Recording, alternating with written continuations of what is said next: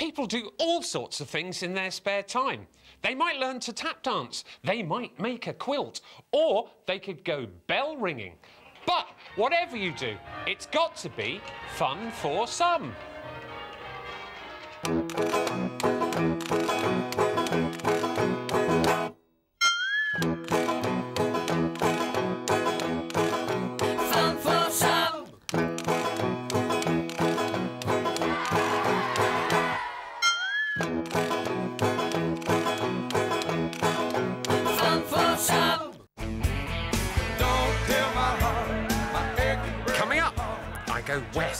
To Silloth for their Country and Western Festival. And get attacked by a group of scouts at their Brass Monkeys camp.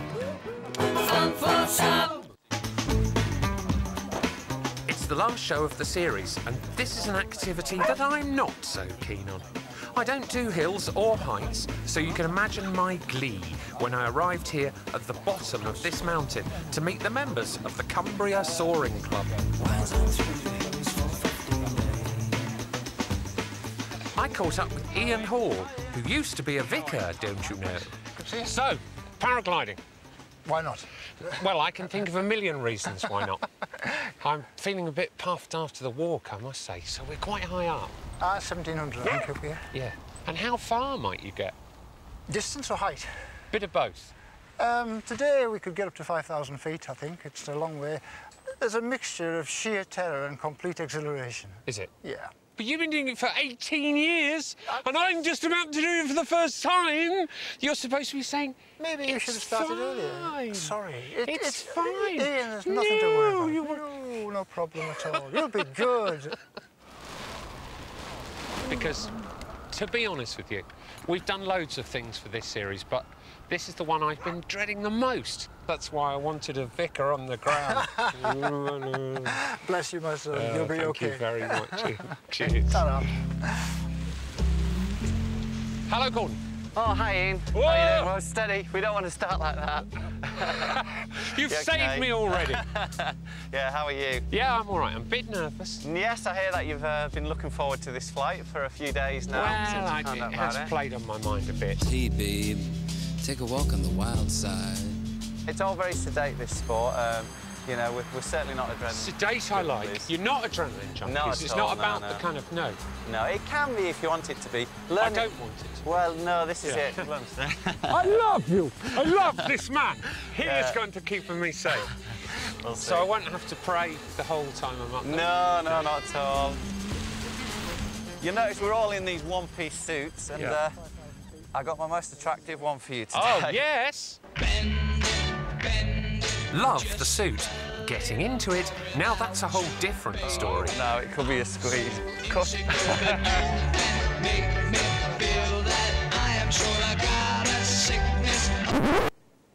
Well, you can't tell by the way I use my walk. OK, so I managed to tie it in a knot round the waist. Are you ready? I'm petrified, but I suppose it's now or never. Stay on your feet, stay on your feet, stay on your feet, stay on your feet. Oh. Okay, you ready here? Yeah, You want to stand here for a second just to feel the wind? You all right, mate? Yeah. Start running. Start running. Keep running. Keep running. Keep running. Keep running. Keep running. Keep running. Far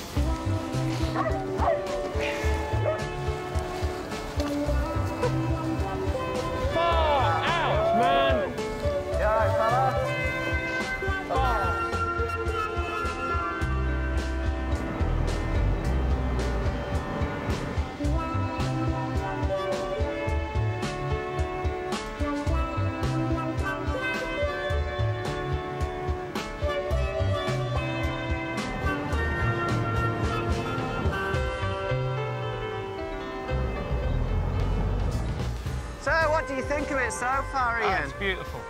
Is it a bit of an out-of-the-world experience Yeah, for you is. here, It's mate? really beautiful, yeah. Yeah, that's fantastic. Well, all we're doing at the moment is just using the beautiful power of nature to keep us airborne. Talk about a carbon low emissions sport. Well, I don't think you get any lower than You this, certainly really. wouldn't, baby.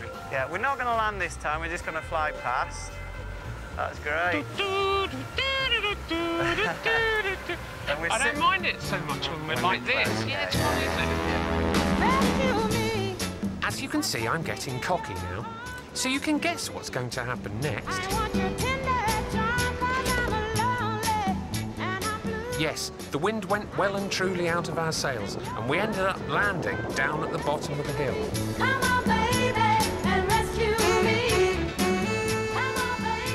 Oh well, it was great fun though.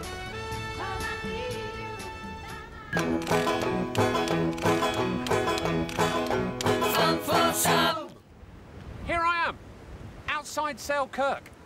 The weather is completely Baltic. It's freezing cold. There's a terrible bitter wind coming in. And yet, there's loads of tents. It can only mean one thing. Scum!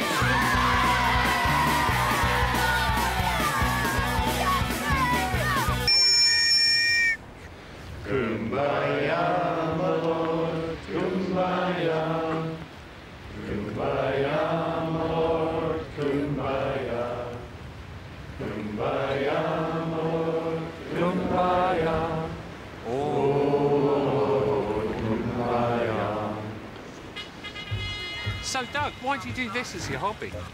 We just get a buzz out of doing it. We'll- It's helping the kids, keeping them off the streets, Yeah. teaching them values. It's fun. It's fun for some. Yep, that's it, Ian. It's fun for some.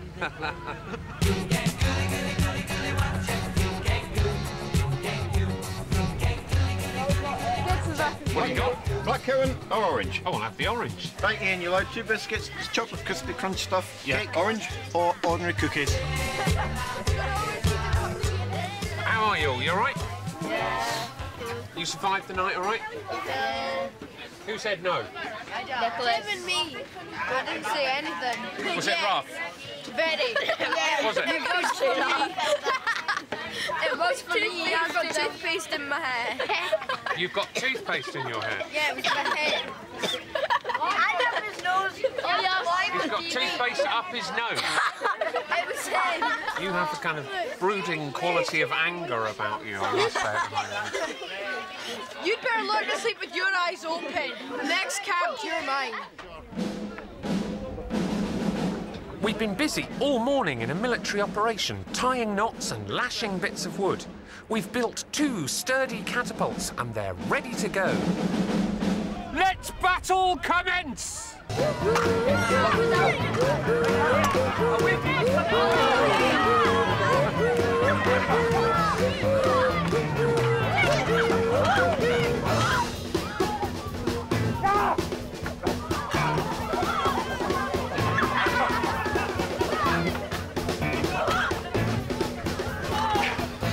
I surrender.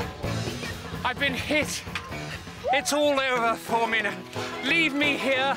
Don't. Fun for some.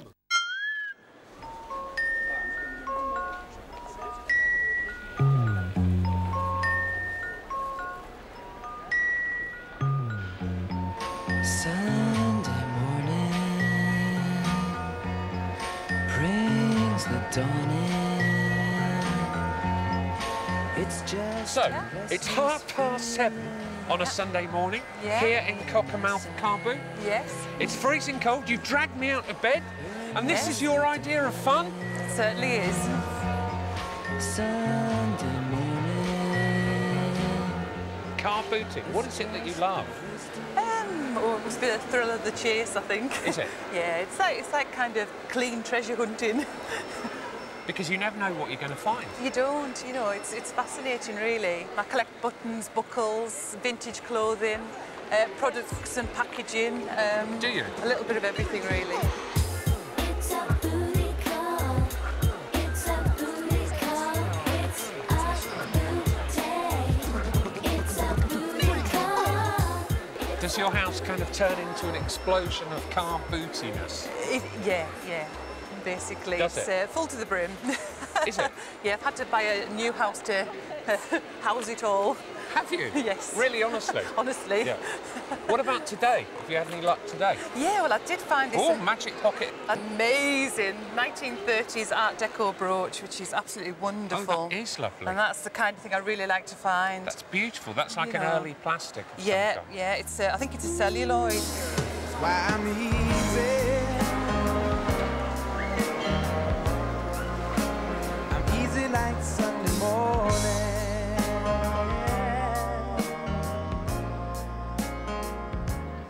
Victoria Wood said there would only be a revolution in England if they banned car boot sales and caravanning. I think she was right. I think she was. I think they'd well. be quite enterprising. I think they would. you know, people kind of really love it. Oh, they, they do. It's a passion, and they look forward to it every weekend. And oh, it's great fun. Is that why we had to be here at seven o'clock in the morning on a Sunday? I'm afraid so. The early bird. Y- yeah, you're right.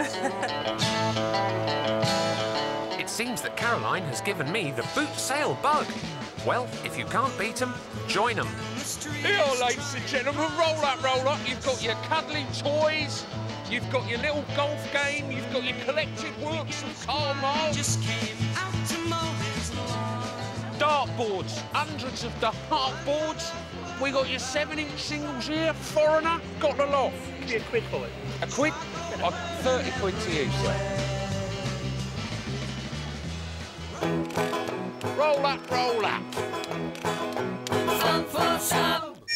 Coming up, I head off to the Isle of Man to indulge in one of my great passions, steam trains. And become a rootin' tootin' son of a gun at the Silloth Country and Western Festival. Yeah!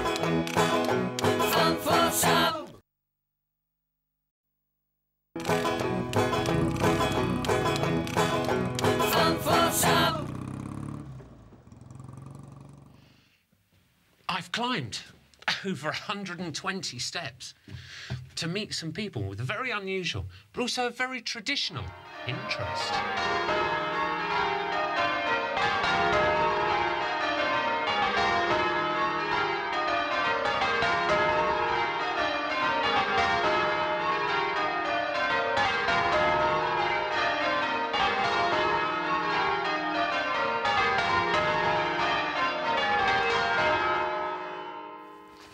Hello, Margaret. Hello, Ian. Nice to see you. It's lovely, lovely to be here. Good. Huge privilege. You are the captain of the tower. The tower captain, yes. The yes. tower captain, oh, yeah. Makes it no sounds difference. much less martial that way. Here at the bell tower of Carlisle Cathedral. That's right, that's right, with all our 12 bells. Here, and it's practice night. It is, and we have lots of friends from other towers coming to join us on a practice night, so that's very, very helpful to us. Probably helpful to the neighbours as well, because they get you all in one place. They think, oh, we, why aren't the bells ringing tonight? Well, they get used to practice night?" Friday night, I think, yes. Yeah, yeah.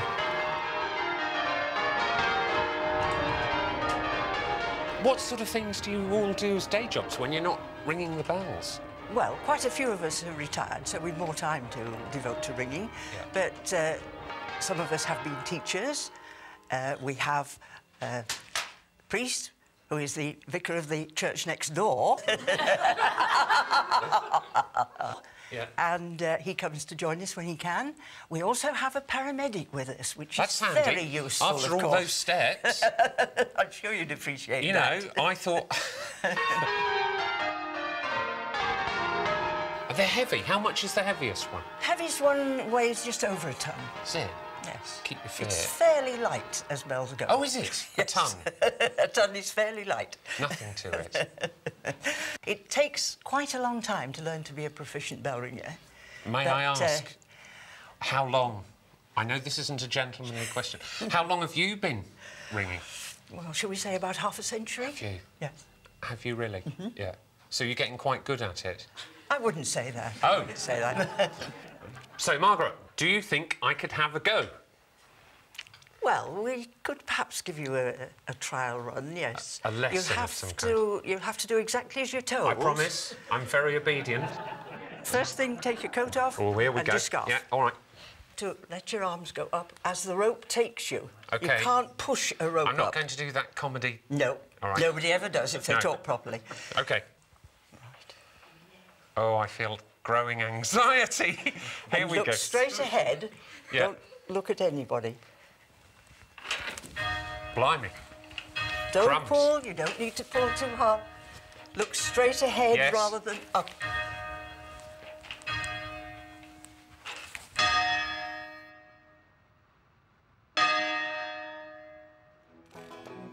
Oh, I looked up again.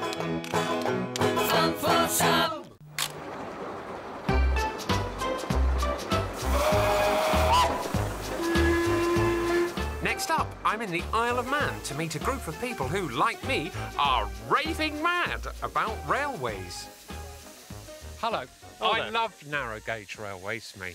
I'm an enthusiast myself. Tell me, what is it you think that's great about railways? Oh, I've always loved steam trains and steam railways ever since I was a small boy, and it's nice to actually be involved with one. And for the last 25 years, with a group of other lads, have restored something at the Groudle Glen Railway. Yeah. So you've been working on this for 25 years? That's right. We started in uh, just in 1982. There's a band of about 10 of us, and uh, since then we've managed to restore the whole three-quarter of a mile line, and the buildings, and of course the steam engines that go with it. Yeah. So this is your idea of fun? It is. It's great fun. I work in an office. I just shuffle paper from one side of the desk to the other. And on a weekend, I can come down here and actually work hard and actually stand back at the end of the day and see the result of all the work I've done. Yeah. Well, I can't wait for a ride on it, actually. Right. Well, I think Ian, we better get on because I think uh, the engines are about to go. Oh, OK. Right. Let's go. OK. Ah! Alex, sadly, there was no room for me in the carriage. And you're going to have to come on the so I'm forced to come on the footplate. Oh.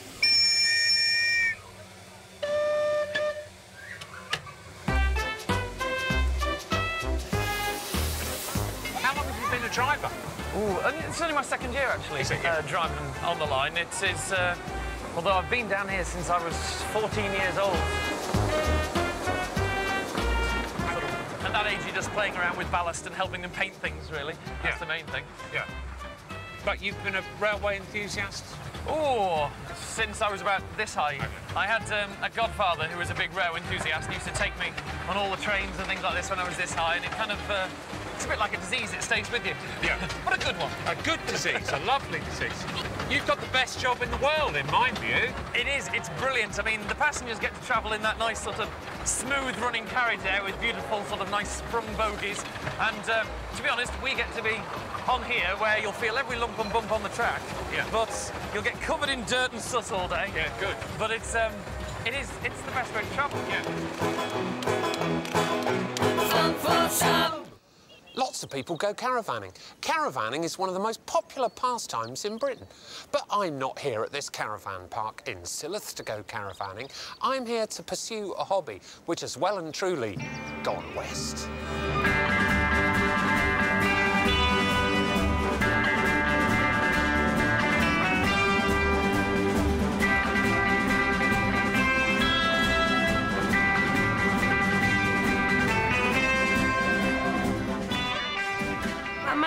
My name is and I'm from Workington. My name is Father J.D.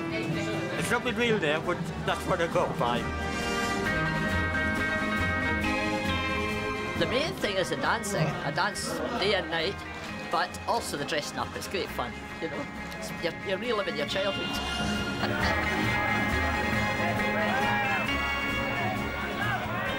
Hello, senores. Hello. Hello. Here I am in the wild west of Cumbria at the Silloth Country Music Festival.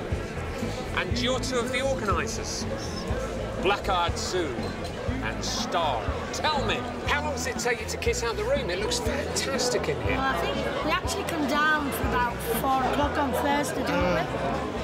Usually takes us about three hours on Thursday night. Yeah. And then Friday morning we, we come in and finish off. And do you bring all the stuff in a covered wagon? No. In two cars, no, but it's nowadays three cars. We can't find anybody to lend us a horse, can we?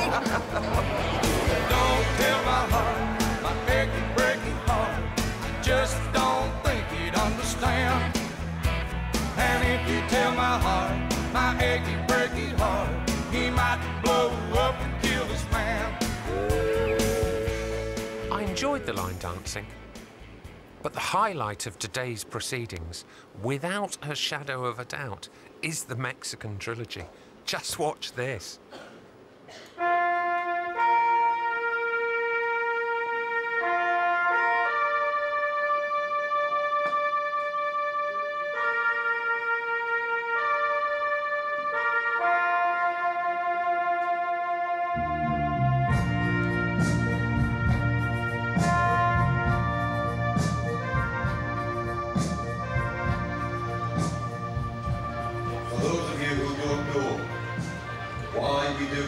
Mexican Trilogy. It's because on the 6th of March, in 1836, that was the last day of a 13-day siege at a little old mission in Texas called Alamo. This trilogy is to honour the brave men who died in this battle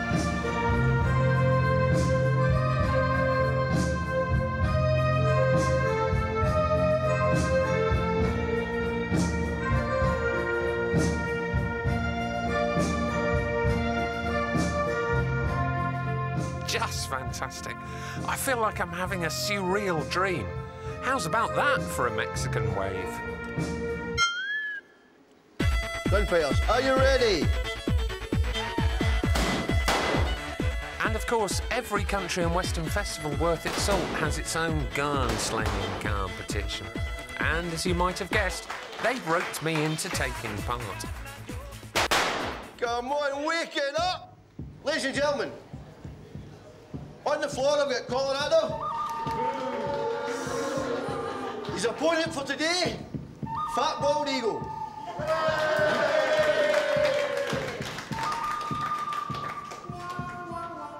Gunfighters, are you ready? Ready? I've got the meanest, keenest, maybe not so leanest gun-toting opponent in the wild west of Cumbria. But I'm sure gonna try and give that son of a gun a run for his money.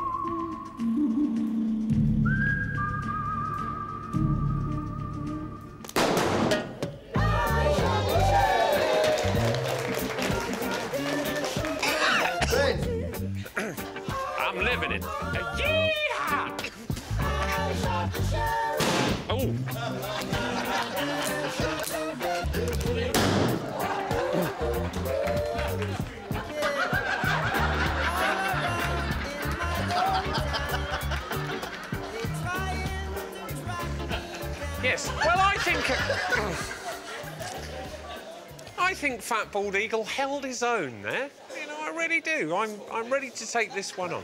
That was fun for some. Fun for some.